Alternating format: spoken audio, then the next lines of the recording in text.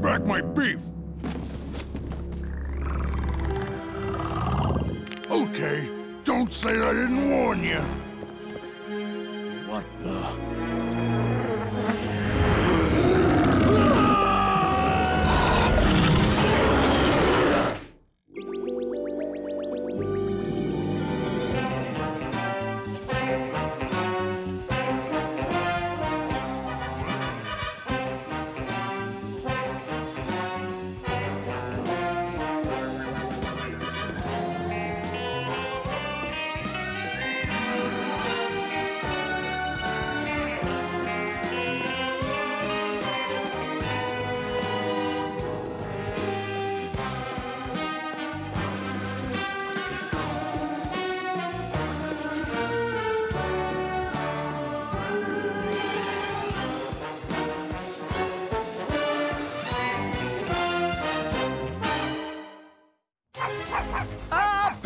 So happy, so cuddly, and so gosh darn cute!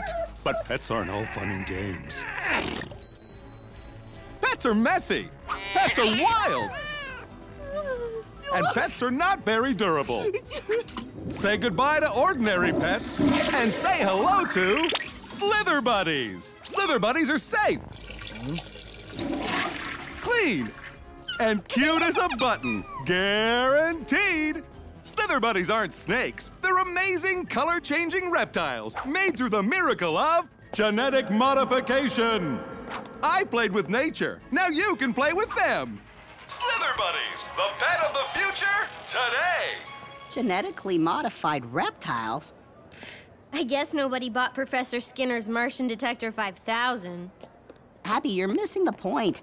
Messing with nature is dangerous. On! It's just another one of Skinner's wacky inventions. Who's gonna actually buy some weird Franken Frankensnake? From the looks of it, everybody.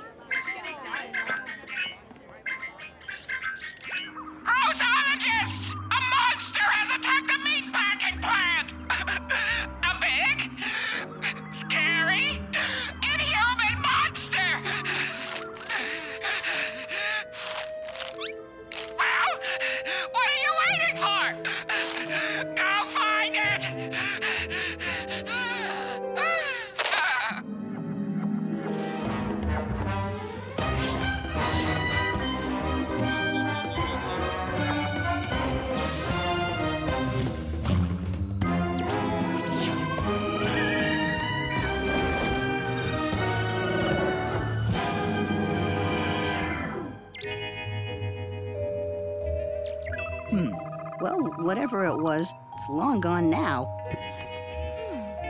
But it left us a present. Ooh, what is this stuff? It's mucus. Like something started to eat and then bleh, barfed it up again. Yuck. Check it out. Bite marks.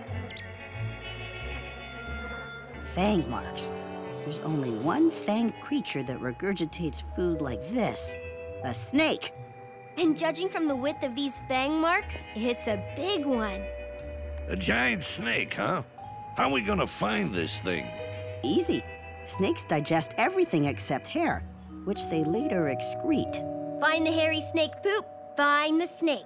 Pointless Trends magazine calls Slither Buddies the must-have accessory of the year. People have gone crazy for these colorful cuties. Hi, can we see your Slither Buddy? Which one? I have a Slither Buddy to match every color in my wardrobe. This one is Puce and this one is Chartreuse. Puce matches my bag and Chartreuse matches my shoes. That's horrible. Those are living creatures, not fashion accessories. Who cares if they were created in a lab? They're still. Huh?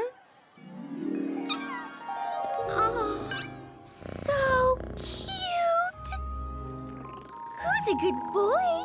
Happy? Yes. Happy's a good boy. Hmm, no sign of the giant snake here. Could you please stop it with the baby talk? He can't hear you. Snakes don't even have ears. Yeah, but he knows what I'm saying. Don't you, Happy Wappy Woo? Oh, Grossologists! A large, malodorous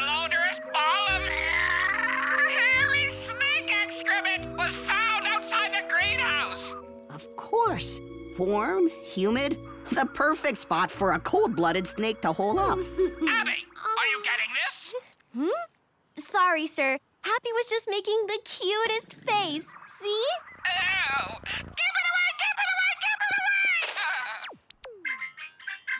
Oh, Abby, the Slither Buddy hype got to you too? What? They make good pets. Ha! You want to see a real pet in action? Check this out.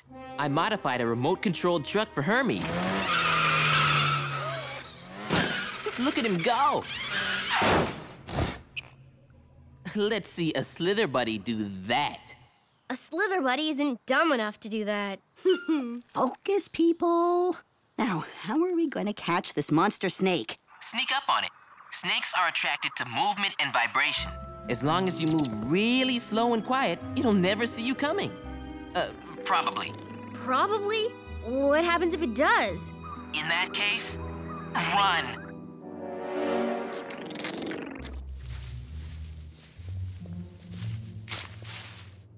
Remember, slow and quiet. Hmm. Oh.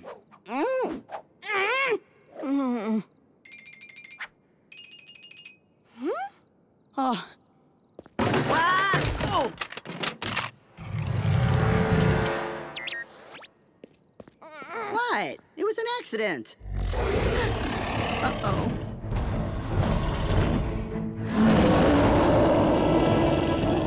Don't move. Maybe whatever it is won't notice us. I think whatever it is already has. He looks hungry! Let's give him a taste of goo.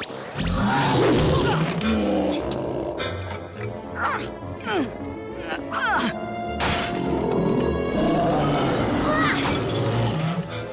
tough. Really tough.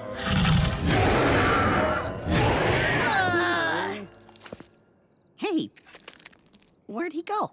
There. Shh.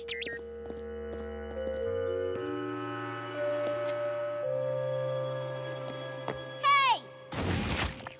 What the? Snake skin. Enough to make tacky footwear for a whole army. It must have shed it. Yeah, just before it shed us. Bag it and tag it. We've got a date with a microscope. You're telling me that this creature hisses like a snake, spits venom like a snake, but has two legs? Well, I'm telling you, this is definitely not a snake. So what is it? Some sort of two-legged lizard? Let's find out. Reptile scales are made of keratin, the same material as human hair and fingernails. I can use it to identify the... Whoa! These scales are as hard as a turtle shell. A giant, armored, venom-spitting, two-legged reptile?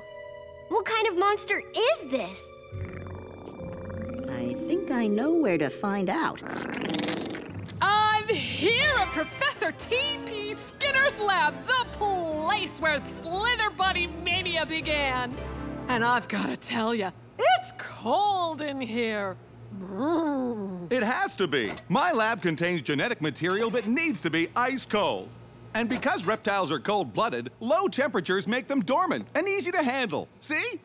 Oh, oh yeah. Oh, that is nice. Right. So, Professor, how did you create these adorable cuties? With genetic modification, of course. It's really quite exciting stuff. Allow me. I take DNA from one species and insert it into the DNA of another species. The process allows me to recombine DNA sequences in order to alter genetic traits.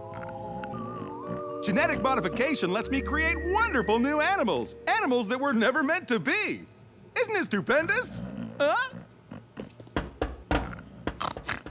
Huh? Oh, there you have it! Slither Buddies, nature's man-made miracles! And cut. Ooh, let's get out of here. I'm freezing. Oh, what can I do for my favorite grossologist? Got a sale on my portable mucus dryers. Very cheap. Huh? Hey, we're not gonna... Really? How cheap? Uh, we're not here for gadgets. Professor, what do you know about a genetically modified reptile with chameleon, snake, and turtle traits? Only everything. That's the recipe for my Slither Buddies. Why? What do you make of this? It's reptile skin, but it can't be from a Slither Buddy. It has legs. Slither Buddies don't have legs. And it's huge. I specifically genetically modified them to be tiny. Unless. Huh? Cuddles. Oh, this is bad. This is very, very, very, very bad. What is it? What's wrong? Nothing. Scratch your back? Professor, you have to tell us. I'd know this scale pattern anywhere. It's from Cuddles, my first Slither Buddy. Cuddles was the prototype for every other Slither Buddy. Without him, none of these would even exist. But then he sort of escaped from the lab ish. So Cuddles grew into a monster? But how? What makes him different from the rest of these Slither buddies? Nothing. They're all made the same way Cuddles was. He's just. older. You mean you didn't study their entire life cycle? Well, I meant to, but there wasn't time. Everyone was clamoring for Slither Buddies, and, and then Cuddles disappeared, and, and then there was so much money to be made, and I kind of, sort of, skipped that part. Is it possible that your genetic engineering didn't work? No. Is it possible that you created a super reptile but got the staying little part wrong? No. Is it possible that every single one of those Slither buddies out there is going to turn into this? Maybe. Oh no.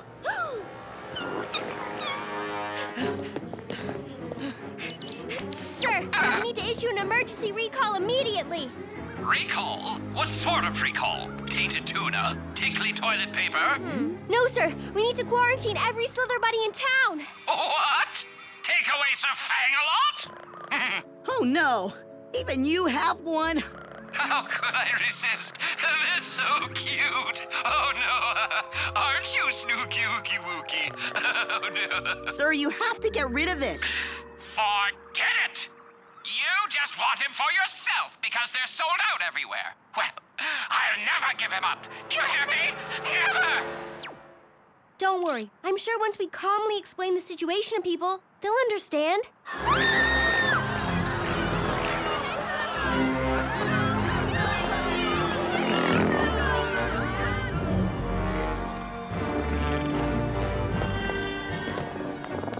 Ow, ma'am, please, it's for you. Ow! Oh, good. Get your roast, Slither buddy, punk!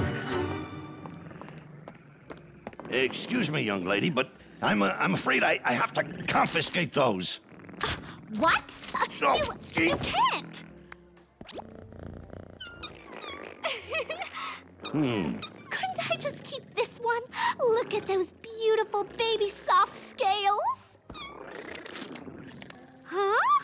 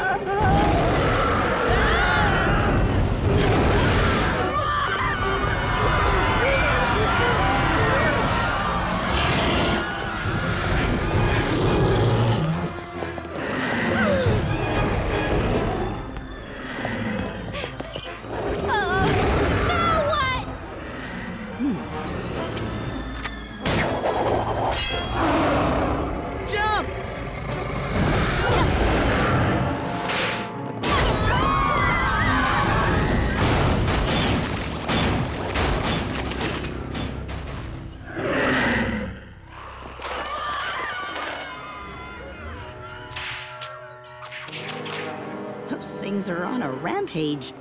Can you blame them? Molting takes a lot of energy. Those guys must be hungry. So let's feed them. Thanks, but I prefer my limbs attached. Think about it. With the right bait, we can lure them anywhere. Like back to the professor's lab. That place is so cold it'll turn them into snakesicles. All we need now is the perfect giant snake bait. Don't worry, little buddy. I've got something bigger in mind.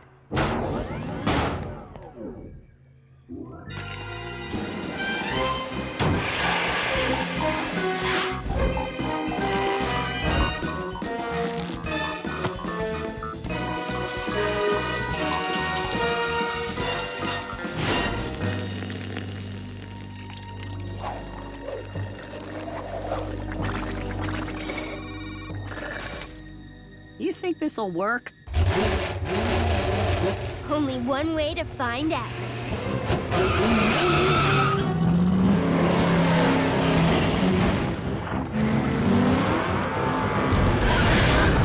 The rat disguise is working. The slither buddies are coming out. Snakes use their tongues to smell, and thanks to that stink potion I created from Hermes' sweat, all they can smell is rat. Huh, they're not the only ones. You. Woohoo! Ah! Slither buddy, 12 o'clock.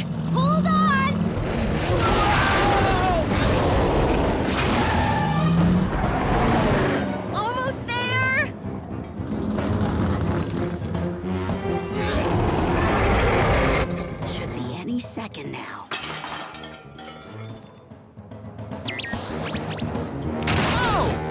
Think you broke my bows. Professor? You shouldn't be here. It's dangerous. I wanted to test my new predator radar. I call it Pradar. Hey, it works! Oh.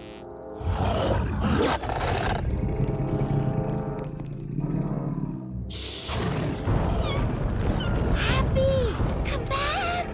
Abby, you didn't get rid of him. I, uh,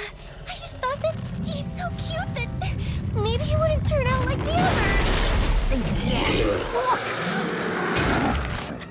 Happy, no! Not you too.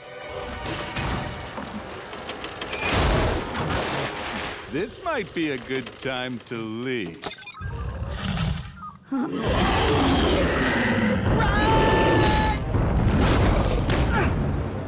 This door's not gonna hold for long. Note to self, invent Slither Buddy proof door. Could be worth a fortune. Unless I perish, which, uh, in which case, invent from beyond grave. Lab rat, help! Okay, okay. Just stay calm. Your best buds are moments away from being turned into reptile food. They need your help. They need Hermes.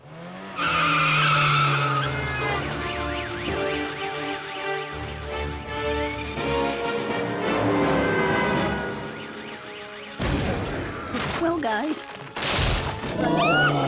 it was nice knowing you.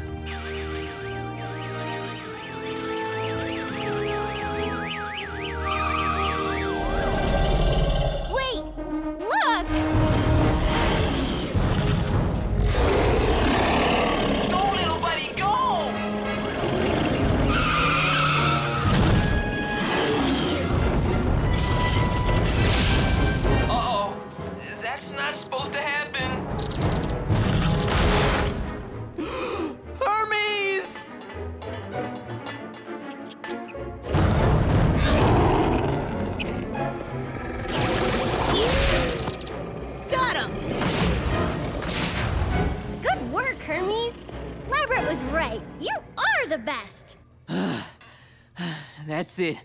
No more field work for us. Okay, Slither buddies, time for you to chill. It's working! The cold is putting them to sleep! We did it! Oh no! It's, it's Cuddles! Yo, Cuddles!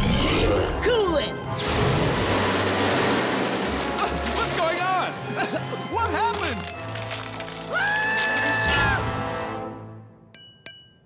Frozen solid, just like the others. Cuddles, you have been a bad boy. A very, very bad boy. I'm so. Oh, who am I kidding? Welcome home.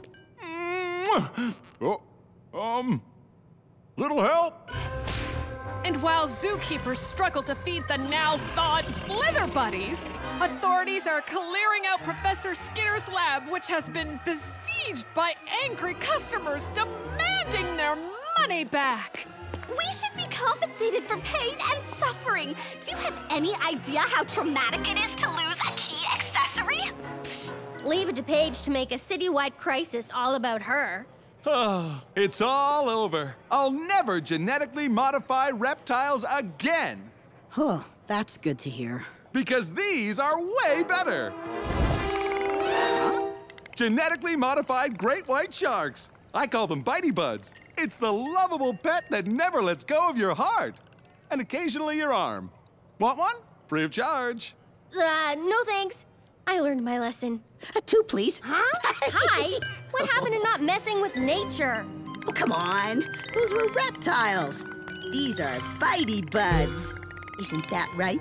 My cutie wooty little baby sharky. Ah!